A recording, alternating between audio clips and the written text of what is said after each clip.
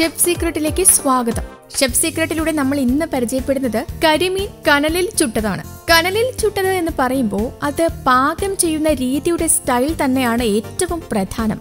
Front സർക്കിളിന്റെ ഇടയിലും ചില ഔട്ടിങ്ങിലെ ഒത്തുചേരലുകളിലും രസകരമായി പാചകം ചെയ്യാനും ആസ്വദിക്കാനും പറ്റുന്ന ഒരു വിഭവമാണ് ഈ വിഭവമായ കരിമീൻ കനലിൽ ചുട്ടത്.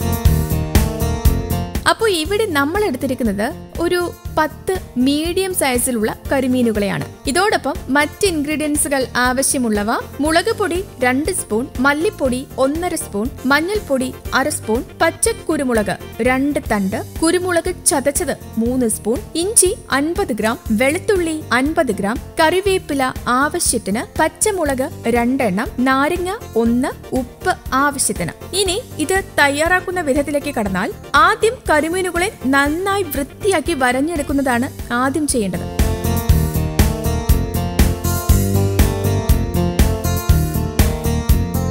അതിനുശേഷം നമ്മൾ എടുത്തിരിക്കുന്ന ഇഞ്ചിയും വെളുത്തുള്ളിയും അൻപത് ഗ്രാം വീതം എടുത്ത് ഇടികല്ലിൽ നന്നായി ചതച്ചെടുക്കണം.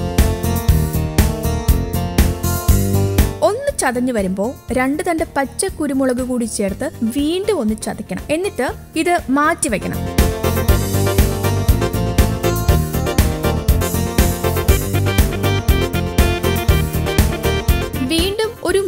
സ്പൂൺ കുരുമുളകിട്ട് ഒന്നുകൂടി ചതച്ചെടുക്കണം. ഇത് തീരെ പൊടിയാകേണ്ട ആവശ്യമില്ല. ഇനി രണ്ട് പച്ചമുളകും ആവശ്യത്തിന് കറിവേപ്പിലയും ഇട്ട് വീണ്ടും ഒന്ന് ചതച്ചെടുത്തതിനു ശേഷം മസാലക്കൂട്ടിലേക്ക് കിടക്കാം. ഒരു പാത്രത്തിലേക്ക് രണ്ട് സ്പൂൺ മുളക് പൊടി അര സ്പൂൺ മഞ്ഞൾപ്പൊടി ഒന്നര സ്പൂൺ മല്ലിപ്പൊടി ആവശ്യത്തിന് ഉപ്പ് നാരങ്ങയുടെ നീര്. നമ്മൾ ചതച്ചു വച്ചിരിക്കുന്ന കൂട്ടുകൾ എന്നിവ ചേർത്ത് അല്പം വെള്ളവും ചേർത്ത് നന്നായി മിക്സ് ചെയ്യണം. എന്നിട്ട് നമ്മൾ വൃത്തിയാക്കി വച്ചിരിക്കുന്ന കരിമീനിലേക്ക് നന്നായി ഈ മസാല കൂട്ട് തേച്ച് പിടിപ്പിക്കണം.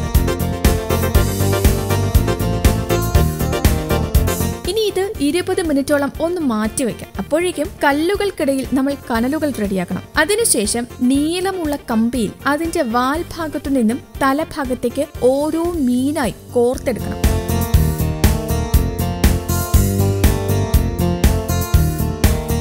എന്നിട്ട് ഈ കല്ലിന് മുകളിലായി കനലിന് കുറുകെ വെച്ച് റെഡിയാക്കി എടുക്കാം. കറക്കി കറക്കി ഇത് റെഡിയാക്കണം.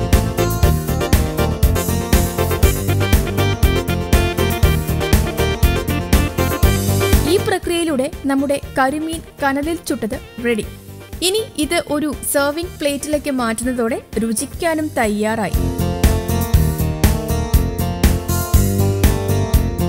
അപ്പോൾ ഇതുപോലുള്ള വ്യത്യസ്തങ്ങളായ വിഭവങ്ങൾക്കായി ഈ ചാനൽ സബ്സ്ക്രൈബ് ചെയ്യാനും ബെല്ലൈക്കൺ അമർത്താനും മറക്കരുത്.